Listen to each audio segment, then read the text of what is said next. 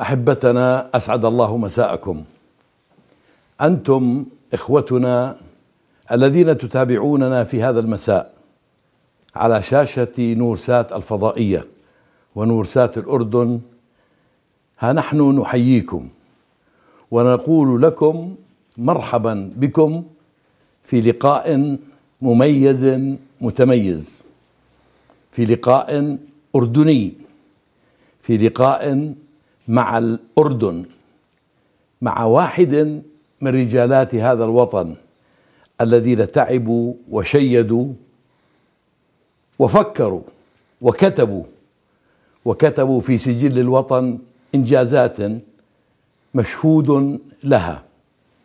في هذا المساء أيها الأحبة نتوقف في الدولة مع رجل من رجالات هذه الدولة مع دولة رئيس الوزراء الأسبق السياسي المخضرم وصاحب الفكر الوطني ابن هذا الوطن الأصيل هذا الوطن المقدس في هذا المساء. نحن معكم ضيوف على دولة عبد الرؤوف الروابدة أبو عصام في دارته العامرة وفي مضافته التي نشتم فيها عطر الأصالة عطر هذا الوطن عطر الإنجاز والحب للوطن وأهله وقيادته.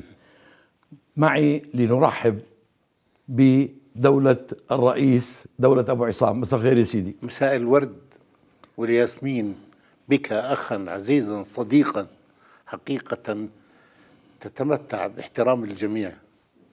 لأنها تمثل لأنك تمثل رمزية في هذا الوطن بالعيش المشترك بين كل المواطنين بغض النظر عن عقائدهم عن أعراقهم عن ألسنتهم عن ألوانهم عن أجناسهم لنبني مجتمع الوطن الواحد دائما شكرا سيدي أنت غمرتني بكرمك ولطفك لا، وهذه الشهادة العفو. أعتز العفو أعتز بها العفو العفو سيدي. جئناكم هذا المساء نعم لنطالع معكم فكر أبي عصام الذي قرأناه في هكذا أفكر. نعم. 576 صفحة يا سيدي. نعم يا سيدي. أولا شكرا سيدي أنك أبرزت أنا شعرت بعد هذه الخدمة الطويلة في الإدارة العامة والسياسة العامة للدولة أن من حق المواطن أن يطلع على فكر السياسي. حتى يرتاح. إلى ممارسات ذلك السياسي إلى مواقف ذلك السياسي. لم لم أكتب مذكرات. أنا ما كتبته هو مجموعة من المحاضرات والندوات والدراسات والخطب البرلمانية التي تتعلق بهذا الوطن. تحاول أن تضع ثوابت وأن توضحها. نشوء هذا الوطن. لماذا؟ وكيف؟ وشكل التطور الذي وصلت إليه هذه هذه الدولة. المواطنة في هذا الوطن والهوية الوطنية والشخصية الوطنية الأردنية. العلاقة الثابتة المعاشة بين الأردن وفلسطين. دور الأردن في الوطن العربي. هذه كلها مواضيع حساسة أساسية من حق المواطن أن يطلع فيها على رأي السياسي حتى يطمئن أن تحرك الوطن يسير في الاتجاه الصحيح. سيدي إذا أردنا أن آه، آه، نفتح الكتاب. نعم. آه، اختزنت فيها نصف قرن. أو أك- أو أكثر قليلا. أو أكثر قليلا. أين يحب أبو عصام أن يتوقف أكثر في أي صفحة؟ في أي موضوعة في أي آه، فترة. الجزء الأول أننا لم نربي أبناءنا وندرسهم التاريخ الحقيقي للوطن. كيفية نشوء الدولة. هم مظلومين ولا التاريخ مظلوم سيدي؟ لا المظلومين المواطنين أن المؤرخين لم يكتبوا لهم في هذا الموضوع.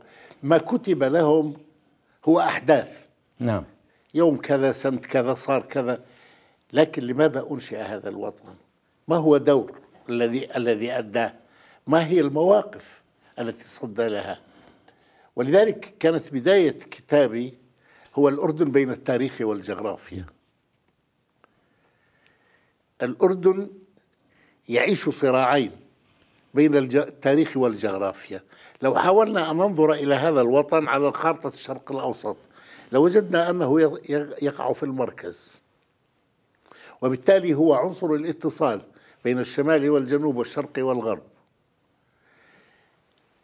الظاهرة الثانية التي نراها في هذا الوطن. أنه التقى على أرضه كل أبناء الأمة العربية من كل دولها. ولذلك المجتمع الأردني هو مجتمع متميز أنه مجتمع عربي كامل. الظاهرة الثالثة هو هذه التعددية في الناس اللي جاءته سواء مسلمين جاءوا من قفقاسيا وغيرها فوجدوا في هذا المحضن الدافئ وصاروا هم لهم البناة الأوطان. ولذلك الأردن أكثر دولة عربية بسبب هذا التمثيل لكل المنطقة العربية الأكثر حساسية لأي حدث يحدث على الأرض العربية من المغرب العربي على الأطلسي إلى الحدود العالم العربي الشرقية على على الخليج العربي ومن بحر العرب إلى إلى شمال سوريا. أكثر شعب حساسية لأن له لا أسميها جاليات له مواطنون يعودون بأصولهم إلى هذه المناطق ولذلك هذا وطن حسن هذه هذه صفات الجغرافيا اللي أعطت إياها أما صفات التاريخ فلا حاجة للدخول الطويل نعم. بها نعم. لأننا تاريخيا جزء من بلاد الشام التقسيم سايكس بيكوي هو الذي تم في مطلع القرن العشرين كل دولة عربية حولنا نحتت هوية وطنية بعد قيامها. نحتت. نحتت هوية نعم. وطنية. نعم. إلا الأردن بقي على هويته العربية منذ إنشاء الدولة سنة 1921 وحتى اليوم. هذا البلد الذي فتح صدره وحضنه لكل عربي لم يميز بين يوما ما بين مواطن وضيف أو طالب أمن وأمان. هذا البلد من سنة 1921 لل 55 ما رأس حكومته شخص مولود في الأردن. معظم سياسييه وكبار رجالات دولته كانوا ممثلين لكل الأرض العربية. كل المربين فيه كانوا يمثلون الأرض العربية ولذلك البلد الوحيد الذي ليس فيه نسيج مدرسي يشير إليه هو الأردن. نشيدنا المدرسي دمت سوريا بلادي. بلاد العرب أوطاني نعم. حماة الديار عليكم سلام. حماة دمت نعم. يا شبل الحسيني. نعم. عايش الملك دائما الهوى عربي. إذا هذا الأردن هو جامعة عربية قبل أن تولد الجامعة العربية. أنا بعتقد أنه ما زال حتى اليوم. بنفس العبارة اللي استعملها الملك عبد الله الأول. احتضن كل من فاء إليه. نعم. تعبير فاء. نعم نعم. هذا الوطن يلتقي على أرضه. كل من هاجر من وطنه أو من هجره وطنه. فلا يجد في هذا الوطن إلا الحضن الدافئ لأن الهوية عربية. نعم. ما لا تستطيع في أي دولة عربية أن تذهب وتأخذ جنسيتها وتصبح رئيسا لوزرائها أو وزيرا فيها أو مسؤولا أو قائدا عسكريا كبيرا. إلا في هذا الوطن لأنه صيغة عربية متكاملة. لا أريد أن أتوسع بهذا الأمر لكننا لكني بدأت في هذا الموضوع أقول للمواطن الأردني هذا وطن به تعتز. تعتز به نعم. جغرافيا وتعتز به تاريخيا بالإضافة إلى ما قام به من دور في كل قضايا الأمة في شرقها وغربها. 1921 2021 100 سنة. نعم. أين ترى الأردن الآن بعد أن أنجز مئوية وينتقل إلى مئوية أخرى؟ شوف أحكي لك. أنا لدي قناعة مطلقة أن هذا وطن مستقر ثابت دائم ليس حقيبة سفر. لنطمئن من البداية لأن هذا الوطن له دور. وما دام ملتزما بدوره متعلقا به دوره العروبي ودوره في قضايا الأمة وبخاصة دوره في القضية العربية المركزية التي هي فلسطين سيبقى معتزا بهذا الدور. ولذلك أنت تلاحظ أن البلد الأكثر التزاما بما يحدث على الساحة الفلسطينية هو الأردن. وأقوى خطاب يتعلق بهذا بهذه الأمور هو خطاب جلالة الملك من من من هذا المنطلق أنت تجد أن الأردن لا يفكر بالقضية الفلسطينية قضية جار القضية الفلسطينية هي جزء منا ونحن منها هي نعم. قضيتنا التي نعيشها يوما بيوم نعم. وبالتالي أنا أعتقد أن دور الأردن دور مشرق. الذكاء الآن على الإدارة السياسية للوطن. كيف تحاول أن توسع هذا الدور وأن تطوره وأن تغير من أساليب الإدارة العامة في هذا الوطن ومن حركة إصلاحية متكاملة تشمل جميع نواحي الحياة نعم. حتى يستطيع هذا الوطن أن يقوم بدوره بشكل جيد؟ وحتى يحس المواطن الأردني بالاعتزاز والفخر بالانتساب إليه وحتى يعيش فيه بكرامة لأن الوطن الذي تعيش فيه بكرامة هو الذي تدافع عنه. وأنت تتحدث عن الإدارة سيدي. يعني أنا أستذكر ما آه، أنجزتم العفو. على امتداد الوطن العفو. وخاصة في عمان. العفو. مدينة وحاضرة العرش. نعم سيدي. ومدينة الحب الأخوي. نعم. أنت كنت أمين عمان سيدي. نعم. وكنت أم... أمينا في أمانتك. لا على... هو, التع... هو جمال التعبير أصلا دلالة على الوظيفة. آه آه إيش بتعني لأبو عصام عندما يعني عمان ماذا تعني لك؟ يعني هذا امتداد للكلام الطيب اللي سمعته. دولتك أنا كل ما جلست إلي أستمع إليك يتجدد آه، آه، عزمي وارتياحي لهذا الوطن. آه، سيدي عاصمة الوطن دائما في الدنيا كوزموبوليتان بتكون ممثلة لكل أرض الوطن. ولذلك المفروض أن أن عشقها من عشق الوطن ككل. يعني سأبقى صريحي وسأبقى من أربد الأصل. أحبها وتحبني.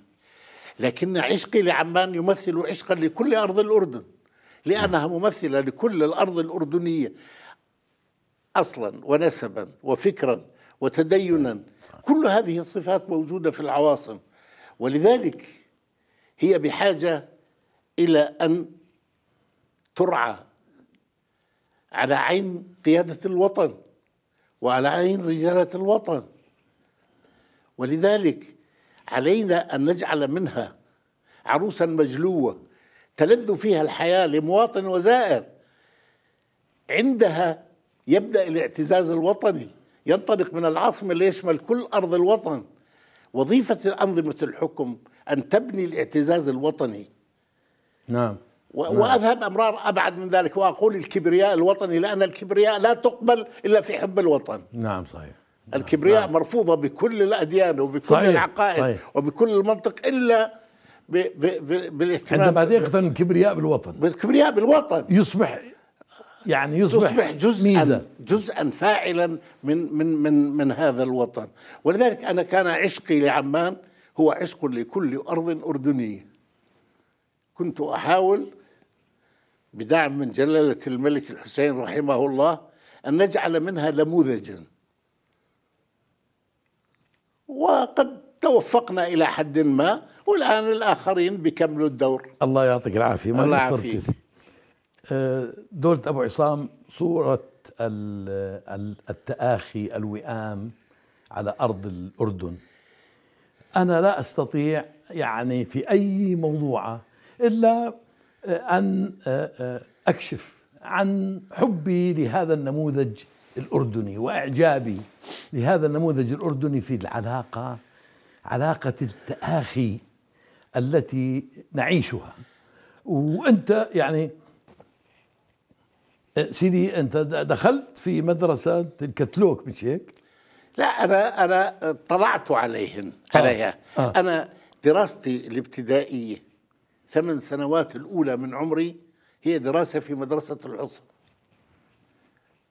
عرفت علي؟ نعم. والحصن في تلك الأيام مدينة م... س- اكثريتها مسيحية. نعم.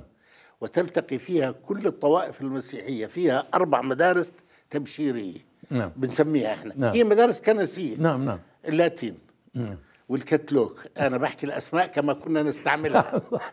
أه؟ والروم. نعم.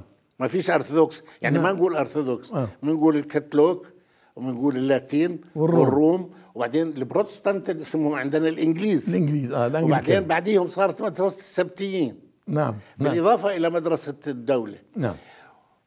وبالتالي من حقي أنا أقول أن هذا البلد أرفض فيه كلمة التعايش. التعايش فيها فيها انفعالية. أ- أحد يحركها. أنا بقول العيش. العيش الواحد. نعم. ما أحسست طيلة شبابي أن هناك اختلاف بين مسلم ومسيحي إلا في أدائه لواجباته الدينية. ولذلك اعتقادي وقناعتي المطلقة أن المسيحي في الأردن حضاريا إسلامي عقديا مسيحي. نعم. لكنه حضاريا نعم. إسلامي الحضارة. جزء منها. جزء منها جزء منها هو فاعل. ومس- ومس- فاعل. ومؤثر. ومساهم. يعني وليس جانبيا فيها يعني دور. ولذلك أحيانا لا نسميها أقلية. يعني أنا بحبش هذه التسمية. لكن مضطر لما بتحكي على الأعداد والأرقام في العدد آه. أن تقول أقليات. لكن في الأصالة الكل واحد من منشأ واحد من أصل واحد عروبيين يعيشون في هذا البلد ويصنعونه على عينهم. جرسوا الكنيسة كأذان المسجد دعوة إلى الإيمان. سيدي هذه الصورة الجميلة. نعم. آه لو أراد دولة أبو عصام أن يحملها لمن لا يعلم عنها وبها؟ آه شو بقول؟ لا هو إحنا اضطرينا نتكلم عنها سابقا ما كنا بنحكي عنها لأن كنا نعيشها. نعم. إحنا بعدما رأينا اولا من حركات غربية نعم. فيها تعصب. نعم. وتعصب باسم الدين. نعم. ولذلك نشأت حركات التعصب في كل الأديان. لم تكن وقفا على دين بعينه. نعم. بالمسيحية باليهودية بالإسلام بالبوذية بالكونفوشيوسية طيب. بكل الأديان. نعم. المشكلة أنا بدأنا نفكر فيها لأنه بدأ يصير لها رد فعل. هذه الأحداث التعصبية والعنفية بدأ يصبح لها رد فعل ولذلك صار من واجب. كل سياسي وكل رجل دين أن يعدوا دائما أن يدعو دائما للعيش المشترك. أن اختلافنا فقط هو في أسلوب أداء واجباتنا الدينية. أما أسلوب العيش فهو أسلوب واحد لا يجوز فيه التمييز بأي صيغة من الصيغ. وقيم مشتركة. قيم وقلنا الحضاري ما نعم. قلنا حضاريا نعم، مش. حضاريا حضارة واحدة. لا يستطيع أحد أن يدعي نعم. أنه في في الأردن حضارتين. نعم. أو في أو في مصر أو في سوريا أو في غيرها. في حضارة واحدة. الكل كان فيها شريكا وصانعا لها. هذا الأردن والعلاقة المسيحية الإسلامية ال- ال- ال- النموذج. الأردن خليني أضيف لك إذا سمحت لي. نعم. إنه الهاشميين بنسبهم النبوي وجدوا أن مسؤوليتهم الأساسية هو الحفاظ على هذا العيش المشترك والحيلولة دون أي حركات عنفية أن تتسرب إلى هذا الوطن. ولذلك أنا أعتقد أن علاقه المسلمين والمسيحيين في هذا البلد علاقة نموذجية. يعني الكل يحاول أن يحتذيها. لم نعرف يوما ما على هذه الأرض مثل هذه الصراعات. نعم نشكر الله نشكر الله. الهاشميون القدس المقدسات الوصاية الهاشمية نعم. عمان القدس. نعم. عمان هي الأقرب. الأقرب إلى القدس روحا ونفسا وجغرافيا وكيف تقرأ كسياسي ورجل دولة يا سيدي؟ آه، وكنت رجل قرار وصاحب ولاية. آه، كيف تقرأ شوف سيدي. هذا الصمود المغ... سيدي عند الحديث عن القضية الفلسطينية. نعم. الحديث عن أي جزء من أجزائها أنا بعتقد قتل لها. ولذلك أنا في كتيب سيصدر لي قريبا اللي هو الأردن وفلسطين التاريخ المعاش. التاريخ المعاش. م. وهي موجودة في كتابي هلا حاليا محاضرة منهن لكنها م. ستصدر شوي موسعة في كتاب. نعم. قلت أن العلاقة الأردنية الفلسطينية ليست علاقة جيران. مش مثل علاقة أي دولة عربية مع فلسطين. نحن تاريخيا دولة واحدة. مر بنا كل أنواع الغزو والاستعمار وعشنا في وحدات إدارية. اثنين ترى التاريخ ما عرفناش بهذه الأسماء. كما لم يعرف كما لم تعرف الدول الأخرى التي تعيش الآن بهذا الشكل. يعني ما كان معروف الحدود. يعني مثلا بداية حديثنا عن جند فلسطين وجند الأردن في فتح الإسلامي. بس جند الأردن هو شمال الأردن وشمال فلسطين وجنوب لبنان عاصمته طبرية. نعم. وجند فلسطين بياخذ البلقاء ووسط فلسطين وعاصمته نعم. الرملة وأحيانا عاصمته اللد. نعم. فهذا الامتزاج الإنساني والتاريخي وتبعه الديني جعلها قضية واحدة ولذلك مشاركة الأردنيين في القضية الفلسطينية بدأت منذ إرهاصاتها الأولى سنة العشرين. نعم. واستمرت كاملة وتحمل الأردن دوره وهو لا يمن به لأنه الإنسان ما بمن على نفسه. ما قلنا القضية قضيته. قضيتنا. نعم. إذا هو ما بمن. نعم. هو أدى دوره. نعم. رغم أن البعض حاول أن يشوه هذا الدور وأن يتهم هذا الدور حتى يدافع عن فشله حتى يدافع عن عدم أدائه لدور على هذه القضية. هذا أدى إلى أن يستمر الأردن اللي صارت بعدين الوحدة. كانت الوحدة الأنقى والأطول في التاريخ العربي الحديث صحيح. بين الضفة الغربية والضفة الشرقية ثم جاء الاحتلال جزء من معركة عربية دفع فيها كل العرب الثمن وإحنا دفعنا ثمن ما بقول لك دفع فيها كل آه. العرب آه. الثمن آه. وكان أكبر ثمن دفعه نعم. الأردن نعم. هذا ما أردت لأنه نعم. فقد جزءا اصيلا حقيقيا من دولته نعم ومن علاقاته ومن اتصالاته ومن ومن ومن دون الدخول في هذه المتاهة لذلك اعتبر الأردن أنه استمرارية العلاقه أحد هذه المظاهر للعلاقة هو الحفاظ على القدس. والحفاظ على القدس بدأ من ال 24 من الحسين بن علي رحمه الله. ثم استمر في عهد الملك حسين وهو مستمر في عهد الملك عبد الله الثاني بشكل رئيسي. وهذا الاهتمام تعمق أكثر بعد الاحتلال لأن إسرائيل أصدرت قانونا جائرا بضم القدس. نعم. وإذا تخلى الأردن عن هذه المسؤولية ستصبح المراكز الدينية المسلمية والمسيحية تابعة لوزارة الأديان الإسرائيلية. ولذلك رغم فك الارتباط بقي الأردن محافظا على مسؤوليته عن هذه الأوقاف وبيدفع رواتبها صحيح. وصيانتها واستمراريتها والحفاظ عليها والدور السياسي في أمام العالم صحيح. في الحفاظ عليها حتى لا يجري عليها أي تغيير جذري. الأردن له دور بترسيخ ودعم هذا الصمود المقدسي حتى خارج حتى خارج يعني صرنا نشك حتى الآن أنه ما ظلش غير هذا الدور يعني الأدوار الأخرى بدأت تتضاءل ما بقول راحت نعم لكن هذا الدور يتأصل ويصبح أكثر مسؤولية وأكثر آه، اهتماما والتزاما. آه، أبو عصام دولتك سيدي. آه، إحنا بالأردن داخليا. أين نسير الآن؟ آه، لجنة ملكية. يعني أنا هذا سؤال وجهه للي قاعدين بالكراسي واللي بيديهم السلطة. بس أنا أنا أنا أعتقد نعم. قناعة مطلقة. أن الإصلاح السياسي يأتي درجة متأخرة بعد الإصلاح الاقتصادي والإداري. لأنني أعتقد أن الشعب في مرحلة البطالة والجوع والفقر أن الإنسان مهتم الآن بأسلوب حياته بوجود مقاعد لأبنائه في المدارس والجامعات بوجود وظيفة وعمل. هذه هذه المرحلة تحتاج أن نتوجه إليها توجها يبدأ اقتصاديا. لكن قرارات الدولة لا يمكن أن تصل إلى القاعدة إلا إذا كانت عبر مؤسسة إدارية حقيقية وصحيحة. أنا لا أعتقد أن الإدارة قادرة على نقل فكر الدولة إلى المواطن العادي.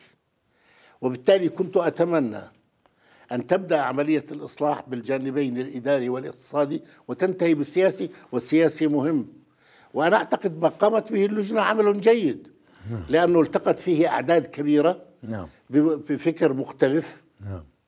متعدد وهي نعم. لذيذة ووصلوا إلى قناعات نتمنى أنها تجد مجالها للتطبيق نتمنى أن تجد مجالها للتطبيق وسنحكم على النتيجة لأن الكلام الحلو مش شرط أن تكون نتائجه حلوة.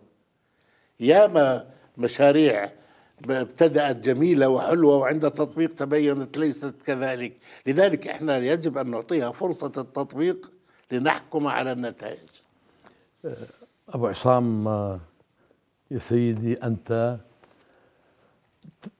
يعني آه، كلفت بترأس حكومة جلالة الملك عبد الله الثاني آه، بعد أشهر الأولى. آه بعد أشهر من نعم. نعم. وفي عهد حكومتك نعم. كان الاحتفال بالألفية الثالثة. نعم. الألفين.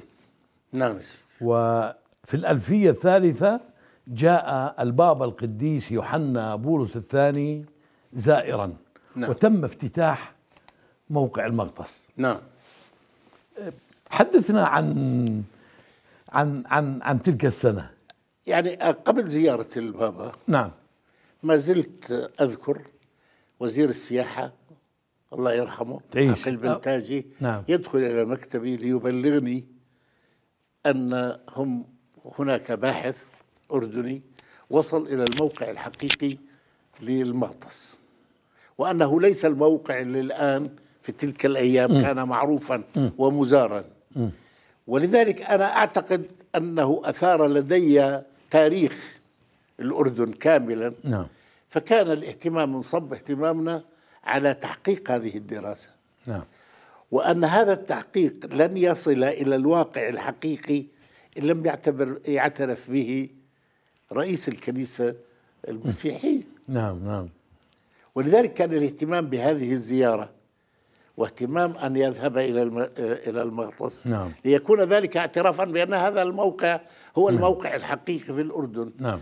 وهذا الذي يعزز اللي كنا نحكي فيه على الدور الأردني أنه بوتقة تنصهر فيها العقائد الأديان تنصهر فيه الأعراق عرفت جميع نعم. والأفكار جميعا في في هذا الوطن فهذا المغطس كان معلما من هذه المعالم اللي اهتمينا فيها نعم. واعتقدنا أن زيارة البابا كانت زيارة آه، مهمة. أكثر من مهمة وأن نتائجها تنعكس خيرا على الأردن والأردنيين وهؤلاء هين نرى المغطس الآن يصبح أحد المزارات التاريخية آه. التي يقبل عليها المسيحي المسيحيون نعم. من من كل دول العالم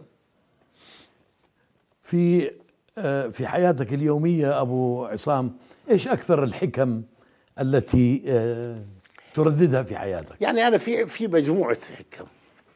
الحكمة الأولى التي عشت عمري فيها إذا لم يكن ما تريد فأرد ما, ما يكون. لا تتحدى القدر. في رضا داخلي. آه تمام هذا الذي يعطيك الرضا الداخلي. إذا نعم. لم يكن ما تريد فأرد ما يكون. نعم. وابتدأت حتى في دراستي. أنا ما كنت لا بعرف شو هي الصيدلة ولا هي المهنة ولا هي ولا حابها ولا بدي إياها. ما بدك الصيدلة ما ما بعرفهاش. فقالت الدولة السنة الأول في المحافظة بده يروح على دراسة. قلنا لهم حاضر. وبنروح بنقراها وبنبدع فيها. إذا فإذا عليك أن تؤمن أنه من واجبك أن تبذل جهدا وإبداعا لكنك تقبل بما قدر لك. هاي هذا موقف الإيمان. أي الإيماني القاعدة الثانية هو تكذيب ما يدور بين الناس يعتبرونه مثلا. اتقي شر من أحسنت إليه. أكبر فكرة مكذوبة في الدنيا. تمنعك من الإحسان خوفا من أن يأتيك الشر ممن أحسنت إليه. والأصل أن تحسن إلى الإنسان بغض النظر عن النتائج لأنك صحيح. تحسن لأن الإحسان جزء منك جزء من عقيدتك من تدينك صح. تطلب فيه رضا الله صحيح. فسواء جاءك من وراءه خير أم, أم لم صح. يأتك صح. هذا هو الأصل شايف فهذول كأفكار أما على قاعدة الإيمانية أن عناصر النجاح تبدأ بالإيمان بالله والإيمان بالله المهم مترتباته ليست لأنه هذا قناعة ضميرية مترتباته أن تحب أن تحب الناس. أن تحب الناس. لأنك بذلك ترضي رب العزة. أن تقدم الخير. وأن لا تطلب عليه ثمنا. ثانية رضا الوالدين. جزء من رضا الله. رضاهما ليس فقط بالإحسان إليهما ولكن بالإحسان إلى كل من يحبون برحمك وبأصدقائهم وأن تستمر معهم. أن تؤمن أيضا أن الخ... أن العسر واليسر يسيران معا. الآية القرآنية في الإسلام تقول إن مع العسر يسرا مش إن بعد العسر يسرا. مع. إن مع العسر يسرا. نعم. بس أنت مش شايف إلا الجزء العسير الصعب. لكن رب العزة مرسل لك الرسالتين مع بعضهم. واليسر ستكتشفه بعد قليل لما بتهدأ وبتنسى تلك الصعوبة التي نجمت إما عن وفاة أو عن إساءة أو عن خسارة لكنك ستجد أن النتيجة ستأتيك يوما ما مقدرة. أبو عصام كلام جميل. وأنت تتحدث أصدقك أنه أنا يعني أحسست وكأني أقرأ في الموعظة على الجبل للسيد المسيح. الحمد لله. يعني آه، آه، الحديث عن حب الله أحبب الرب إلهك وأحبب قريبك كنفسك. أبانا يا سلام. أبانا كل الأنبياء جاءوا برسالة واحدة. صحيح. نعم سيدي. كلهم. نعم يا سيدي. لكن لكل واحدة منهن منها هدف وهي متسلسلة بالأنبياء واحد آخر لما بتصل لعندنا الإسلام إحنا اللي مصدقين بكل اللي قبلنا اللي قبلنا حر هو وين بوقف إحنا على وجه عيد سيدي يعني وبالتالي آه، هل آه، كثيرون يترددون آه، ويرددون بأنه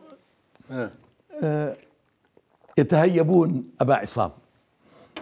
أبو عصام سريع البديهة لماح. الحمد لله. آه الحمد لله. آه و و آه يعني قدرة آه رضا قدرة على على على رضا الله. آه لكن آه هل تعتقد إنه هؤلاء الناس الجميع هل يدركون كم كم في قلب أبو أبو عصام من من حب وطيبة؟ سيدي الناس يتعاملون مع الآخرين بأخلاقهم. هم في حين أنت واجبك تتعامل مع الناس بأخلاقك بقيمك. هذا هذا هو الأساس فينا. الطرف الآخر قد يخافك لأنه في ضميره شيء مخيف وفي تصرفاته شيء مرعب هو يخاف منه. ليطمئن إذا كان ما بيسيء ما يتجاوز. أنا على فكرة التجاوز طلقة الفشك مدفعية الرد عليها. التجاوز لأنك نعم. من حقك نعم. أن تتجاوز عن الخطأ وليس عن الخطيئة آه نعم نعم نعم كل ابن آدم خطاء خير الخطائين التوابون طيب. أما أن يأتي البعض ويتجاوز وخاصة عندما يتجاوز في حق الوطن على فكرة آه مفهوم. معروف عنك. بستحضر كل أسئلة معلوماتي التاريخية والدينية وهي وكل هذا المخزون. كل هذا المخزون للرد على ذلك لأن هذا الوطن بالنسبة لنا له قدسية. الله بارك به. كثر الله أمثالك أبو الله بارك به. ولذلك ولذلك الهجوم على الأوطان على فكرة هو كفر هو خيانة. وحب الوطن من الإيمان. سيدي اغضب على الحكومات. انقد تصرفاتها اختلف معها لكنك لا تختلف مع الوطن. ولذلك نحن نحن شركاء في هذا الوطن نختلف فيه ولا نختلف عليه. من حيث المبدأ له بالنسبة لنا قدسية كوطن. طبعا بنفكر فيه جزء من أمة عربية جزء من أمة إسلامية معلش. نعم. بس الأصل أن تبدأ من من الدائرة الصغيرة. الدائره الصغيره هي ذا الوطن أن تعشقه وأن تعمل من أجله. الأردن اولا سيدي. وهي بس اولا وثانيا وثالثا ورابعا وخامسا. يعني هذا هذا صار عليه حوار نعم. طويل. كان قال لك يا أخي الأردن اولا يعني شو؟ يعني نسينا القضية الفلسطينية ما هي اولا. مين قال لك أنا عم بحكي على القضايا؟ إذا بنحكي على قضايا الوطن الأمة فلسطين اولا. قال لك الإسلام اولا. تقول له طبعا إذا بحكي على اديان واكون أنا مسلم نعم. الاسلام اولا. نعم. وإذا أنا مسيحي بقول المسيحية اولا. بس أنا بحكي على أوطان. اذا الأردن اولا. اولا ماذا يعني ذلك؟ في وراها أرقام. الاهتمام به بقضاياه بعد ما نحلها بنفكر بغيرنا. إحنا اعتدنا في هذه المنطقة العربية. نقفز عن حد الوطن لنحكي عن نيكاراغوا ونحكي عن الشيوعية ونحكي عن أنغولا. وننسى هذا الوطن وننسى حبه وحب مواطنيه وخدمته. سيدي لما كتبت آه، المؤلف هذا كيف أفكر وهو نعم. وهو آه، يعني آه، بيدر. نعم. لثمار لثمار ثمار التجربة. آه، لمين بتحب توجه رسائله أكثر شيء للمواطن الأردني العادي. السياسيين لهم مواقفهم والحزبيون ملتزمون كل منهم لا يرى إلا عشقه لتنظيمه. شايف؟ نعم. أنا وجهت إلى المواطن العادي المواطن الأردني المواطن العربي الذي يحب بلاده ويريد أن يفهمها فهما حقيقيا بعيدا عن أن يأتي من زاوية تعصب لدين أو لعريق لعرق أو لتنظيم سياسي. بدي واحد مرتاح يفكر في بلده يعشقه ويعبر عن عشقه. ترى العشق لحاله بكفيش. إذا ما عبرت عن العشق نعم. مثل عندنا بالدين الإسلامي. نعم. الإيمان بقول لك هو ما وقر في القلب وصدقه العمل. فأنا العشق بدي إياك. طب عبر لي عن عشقك للوطن. بتقول صحيح. أنا بحب الأردن. طيب يا أخي عبر عن العشق. هذا نعم. التعبير يكون بخدمة والإبداع بالخدمة وأن تصل فيها إلى كل مواطن. هذا هذه التعبيرات اللي بدنا نبنيها. سيدي لو الآن أنت تريد أن توجه آه، رسالة حول آه، حول الإدارة وأسلوب الحكومة وما يجري في أيام كورونا وهذه الضائقة والجائحة آه، ما هي نصيحة نصيحة السياسي ورجل الحكم المجرب؟ شو يا سيدي. إنك تأتي لقرن من قرن الإدارة وتتحدث فيها أنا بعتقد آن الأوان لإعادة النظر بهيكلة الدولة وإدارتها العامة. بعد مئة عام دولة صغيرة كان ممكن أن تديرها بأسلوب مباشر. هذه الدولة كبرت حجما وكبرت مسؤوليات وكبرت دورا. نعم. وبالتالي آن الأوان أن يشرك المواطن في إدارة شؤونه. ومن هنا بإعادة النظر بالإدارة. الإدارة المركزية شكل والإدارة اللامركزية للمواطن نسميها الإدارة المحلية. نعم. آن الآن أن نطور هذه الإدارة اللامركزية. يصبح المواطن في الميدان شريك في القرار الذي يتعلق بخدماته. شريكا وليس صاحب رأي فقط. نعم. نعم. شريك في القرار. هذا الجانب. الجانب الثاني الإدارة. أنا بعتقد مر علينا عهد خمسين سنة كلما حدثت مشكلة إدارية ننشئ لها دائرة. فصار نمو برعمي للإدارة الأردنية. صار عندنا وزارات عشرين لكن الإدارات المستقلة ستين. زائد مش ستين وبس. وزاد الإنفاق. على زمانك كان في إدارات مستقلة؟ عدد عدد ما كان بال 14 بال 15 14 الآن فوق الست فوق ال 65 مشان نريح رأسنا. هذا غير المخفي. أنا بحكي عن المرئي. نعم. في أجسام ولما بيجي يوما ما الحكي على الاداره بنعطيه أجسام كمان 60 أخريات. هذا بلد 10 مليون.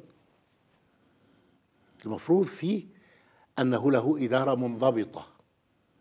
هذه الإدارة قادرة على نقل فكر الدولة ومشاريع الدولة إلى الميدان. هذه الإدارة بدها إعادة نظر. ولذلك أنا بعتقد في موضوع الكورونا نعم. بين لدينا ضعف الإدارة. كيف بين صار متغير عندنا كم وزير وكم أمين عام وكم مساعد أمين عام. دليل على ماذا؟ نعم. دليل دليل على أننا لا ننطلق من فكر موحد وأسلوب موحد في التعامل الإداري مع ما يحدث على على الساحة والميدان. هل, هل صعب التخطيط لما بتكون رئيس وزراء؟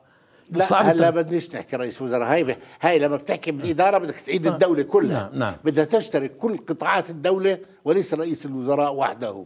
كل قطاعات الدولة بدها تعيد النظر نعم.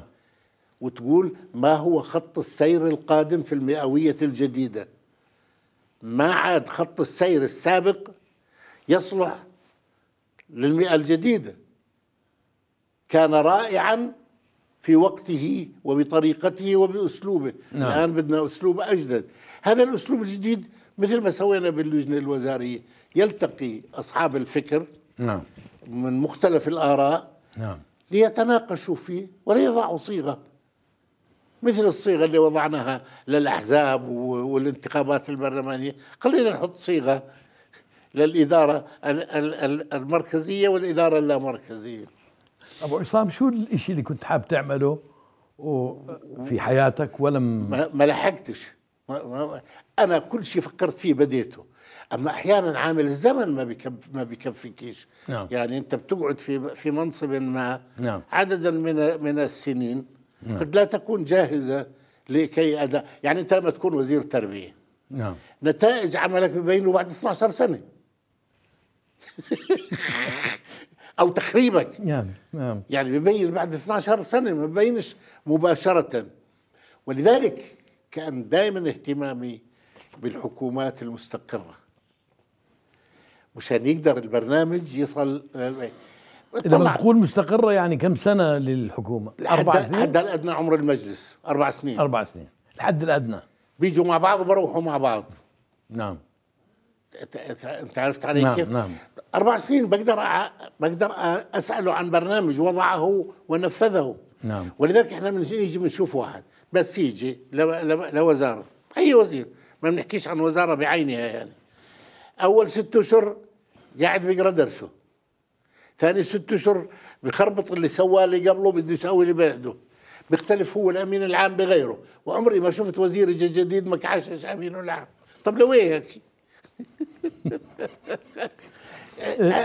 يعني انت شايف سمعت مني بطريقة المزح. لا طبعا بس صحيح. هي الحقيقة الأساسية. نعم صحيح. مفهوم. الوزير منصب سياسي.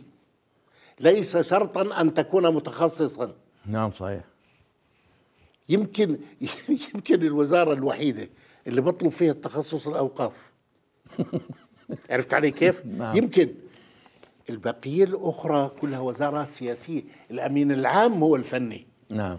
هو القائد. هو الخبير. آه لما بيجي الوزير فني بصير اثنين فنيين قاده ما بتزبطش صحيح. آه، آه، آه، صح. حصانين عطوالة ما بنربطوش صحيح. بيقولوا لنا الفلاحين. نعم صحيح. ولذلك ما بتعايشوش مع بعضهم بتاتا. أه سيدي في عندنا في مجتمعنا في مجتمعنا يعاني الآن من مشكلة وأنا بحكي مع مع رجل الدولة ورجل السياسة وال و و نعم. والأب و و والجد والشخصية الشخصية العامة. آه، تأثر مجتمعنا بوسائل التواصل الاجتماعي. دولة أبو عصام دولة أبو عصام شايف آه، التركيز على الفرد وسط التركيز على الفرد وحقوق الفرد وحرية الفرد وكرامة الفرد. آه، أين ترى حق الجماعة حق المجموعة؟ آه، شوف سيدي نعم. شوف سيدي. إحنا مزعوجين الآن من السوشيال ميديا. إحنا بعني الأردنيين. نعم. مش بحكي دول ماليش دخل. نعم نعم لا لا بحكي نعم الأردنيين. أنا بحكي الأردنيين مزعوجين من السوشيال ميديا. سبب للإشاعة الخبر السيء. نقل المعلومة غير الصادقه وغير الصحيحه إشغال المواطنين بقضايا غير قضاياهم الأساسية. أنا بعتقد السبب الأساسي مسؤولية الدولة. المصداقية في التعامل مع المواطن مصداقية الإعلام. أنت الآن ما عدتش تقدر تخبي على المواطن لأنه أي حدث في أي جزء من الأردن خلال ثواني بيعرفوه كل الشعب الأردني. نعم. بتخبي إيه؟ نعم. أنت بتخبي إيه؟ لماذا الإعلام الرسمي لا يكون هو الأقدر وهو الأكثر مبادرة لكي يطلع الناس؟ اثنين بناء العلاقة الحميمية بين المواطن والسلطة. والسلطة أنا ما بعني مجلس الوزراء بس. بعني السلطة بمختلف درجاتها. إذا كانت عنصر الثقة قائم ببطل أنا قادر على تصديق الإشاعة. أنا ينشغل بلد عندي أنه رئيس الوزراء تهاوش هو وزير منه. فكرة مكذوبة لا يمكن أن تحدث لا يمكن أن تصير. ومع ذلك لم لم يبقى بيت في الأردن لم ينشغل بها. نعم. السبب إنه إحنا بنخبي طب أطلع بقول يا أخي لا إله إلا الله. هذا حدث كاذب ومن يقول به كذاب. شو شو الغ... شو الخطأ بذلك يعني؟ نعم. خلينا نتفق نعم. عليها. اثنين ثلاث يعني ما مش اثنين هي صرنا نلخبط بالأرقام. تطبيق العدالة على من يسيء المعلومة. بس مش سجنه. يعني أنا ضد التوقيف على خبر غلط. ضد المبدأ. بس يا أخي يجب أن يدفع ثمن أي إنسان ينشر معلومة مخطوئة. لأنه ساعتها أنت بتحمي حريات الآخرين حريات الناس. كل الإعلام وظيفته الدفاع عن حرية الناس. أن يصبح وسيلة من وسائل إعدام الحريات كارثة. نعم. ولذلك بس أنا ضد توقيف أي واحد بس لأنه كتب مثل هذا. لكن مع إحالته إلى المحاكمة ليأخذ حكمه العادل. أه، وأين أثر السوشيال ميديا على التفكك الاجتماعي؟ لا هو التغى. على فكرة هو الآن إحنا شوف نحكي يا سيدي. اللي بيحب يعيش في التاريخ بيضحك على حاله. الدنيا متغيرة. أنا وأنت يمكن ما لا أنت شاب بعدك مش مثلي شايف؟ عشنا وقت لا في تلفزيون ولا في إذاعة ولا في صحافة. ولذلك كان مصدرنا للمعلومة المضافة والقعدة مع الكبار نعم. هي المعلومة طيب الآن صارت مصادر المعلومات المدرسة أولا والتلفزيون والإذاعة والتلفزيون ألف تلفزيون نعم. بعدين أخطر شيء صار هذا اللي بجيبتك التليفون صار وزارة إعلام كاملة تحت تصرفك صحيح. أنت صحيح. اذا تغيرت المقاييس مفروض فينا نغير نحن أسلوب الحياة. الآن تقعد في بيتك أنت واولادك كل واحد قاضي بتليفون بحكيش مع الثاني. صح ولا لا؟ صحيح. وإذا بده على التلفزيون كل واحد بده بغرفته التلفزيون لحاله لأنه البرنامج اللي بده إياه غير اللي بده الآخر. نعم. نعم. اذا آن لنا أسلوب تربية مختلف. مشان نقدر نوحد هذه الشخصية الواحدة. الوطنية. نعم. تكون عندنا شخصية وطنية واحدة وإلا بنينا شخصيات متنافرة لا يمكن اللقاء بينها. هذا دور رجال الدين وهذا دور التربية والتعليم وهذا دور المنظمات السياسية. المنظمات السياسية أحيانا تصبح مصدرا من مصادر الصراع. بدل حل الحل سيدي ماذا تقول إحنا جمهورنا آه، يتابع فضائية نورسات والنعم. في لبنان والنعم. وفي بلاد المشرق والنعم. و و وشمال الشرق الأوسط يعني آه، الشرق الأوسط وشمال أفريقيا وفي بلاد المهجر نعم آه، وأنت خريج الجامعة الأمريكية في بيروت في لبنان آه، بعجالة كيف تذكر تلك الفترة؟ شو أذكرها؟ أنت بتنقل واحد من قرية ليس فيها من خدمات الدنيا شيئا ليس فيها من وسيلة للتعليم والتربية سوى المدرسة. زي ما أسلفت لك لا في تلفزيون لا في إذاعة لا في صحافة حتى الكتب نادرة نعم. وقدرات الماليه وبتنقله إلى باريس الشرق. يعني بيروت في تلك الأيام اللي هي بالخمسينات كانت باريس الشرق معدن الحريات معدن الانفتاح معدن العيش المشترك للناس كلها من نعم. مختلف المشارب والأهواء وتحطهم وين في الجامعة الأمريكية في بيروت وتشوف الصدمة الحضارية اللي حطيته فيها. لكن اللي ربنا أعانه نعم استطاع صحيح. أن يستوعب هذه الصدمة الحضارية نعم. بأقصر فترة ممكنة ويتعايش مع هذا المجتمع ليتعلم درسا جديدا هو القدرة على سماع الآخر والقدرة على فهم الآخر والقدرة على احتلام الآخر وأن الحقيقة غائبة ما عدا الحقيقة السماوية نعم. نعم. اللي عند رجال الدين الحقيقة الواقعية غائبة تعال لنتباحث ونتفق عليها هذا هو الدرس الذي خرجنا به في تلك المرحلة من من من مراحل الحياة اللبنانية لسوء الحظ ان اللبنانيين نفسهم اللي سميناهم باريس باريس الشرق في الثمانية وخمسين اصطدموا ببعضهم بخلافات ليست عقائدية ولا لشكل من الأشكال حولت إلى صراع عقائدي نعم. نعم. لكنهم عادوا هذه القدرة اللي في لبنان اللي أنا بحترمها القدرة على أن يقلبوا العداد مرة ثانية ويعودون لعيش مبدع. يا ريت نستجري. إحنا نساوي نفس نفس المبدأ.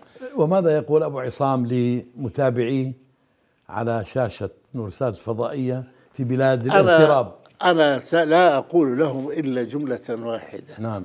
اتقوا الله. اتقوا الله في أنفسكم وفي أوطانكم. هذه الأوطان لنا جميعا. ليست ليست لطرف غير دون طرف آخر. ولا نستطيع أن نبني الأوطان إلا بعلاقات متكاملة أن تمتد أيدينا كلها مع بعضها لبناء هذه الأوطان. بيننا خلافات أحيانا عقدية واحيانا على شؤون وطنية سياسية قدرتنا على حلها هو بالحوار نعم. وإذا تجاوزنا الحوار وصلنا إلى الصراع الذي دفعت ثمنه أوطان كثيرة أعانها الله على نعم. على ما هي فيه الآن تقوى الله وأنتم كرجال الدين وظيفتكم مهمة ووظيفتكم خطيرة أن تزرعوا الحب لأن نعم. الأنبياء الأنبياء جميعا نعم. جاءوا من أجل أن يزرعوا الحب أه سيدي أه نريد أن نذهب بمعيتك إلى مغارة بيت لحم في عيد الميلاد يقترب.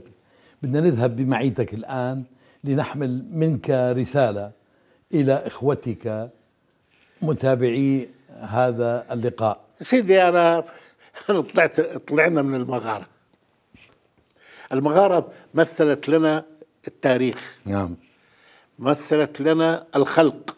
الأول نعم. لهذا النبي نعم. لهذا الرسول نعم. المبدع. وأنا لا أعتقد فيه مدح للمسيح كما جرى في القرآن الكريم نعم. وفي الأحاديث النبوية. هي رسالة واحدة. نعم. رسالة ربانية واحدة. نقول لهم أيها الأهل أفاء الله عليكم بأنكم كنتم الأرض التي ولد فيها المسيح والتي درج عليها المسيح والتي درس فيها المسيح. فعلينا أن نحافظ على هذه الرسالة نقية صافية صالحة تجمع الناس ولا تفرق بينهم. توحدهم ولا تصنع بينهم صراعات. نعم. اتقوا الله في أوطانكم. واعبدوا الله بأديانكم المختلفة. نعم. لكن حافظوا على نقاء هذه الأديان وأبعدوها عن التعصب أبعدوها عن العنف وعن الاختلاف. والمستقبل لكم مهما طال الألم لكن المستقبل بعلم الله هو للمظلومين.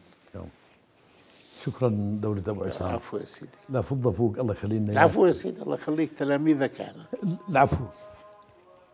أحبتنا متابعينا متابعين هذا البرنامج عين على المشرق. يصل مشوارنا إلى هذه المحطة التي استمعنا فيها إلى دعوة وإلى تأمل وأمل من دولة أبي عصام. القامة الوطنية قامة الفكر والسياسة والإنجاز في الإدارة وفي الحكم وفي الوطنية. جئنا اليوم واستمعنا ولم يبخل علينا بحكمته وتجربته وبمحبته. أكرمنا بأننا نحن هنا في مضافته وسنخرج من هنا. وقد رأينا كيف أن للأوطان كيف أن للاوطان قيمة عندما يكون رجالاتها يدركون قداستها أن حب الوطن من الإيمان. شكرا سيدي مرة ثانية. شكرا لكم لمتابعتكم وإلى اللقاء في الأسبوع القادم في حلقة قادمة من عين على المشرق. أتمنى لكم أسبوعا مباركا وكل عام وأنتم بخير.